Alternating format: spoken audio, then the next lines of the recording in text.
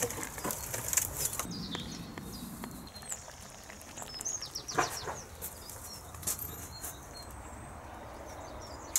So what we're doing today is we do a pop-up cafe down at the allotments just off Four Pounds Avenue in Coventry.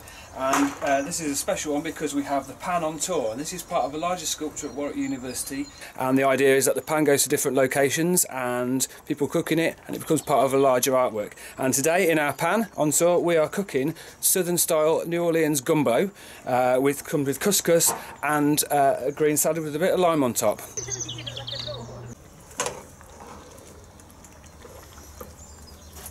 Mm-hmm.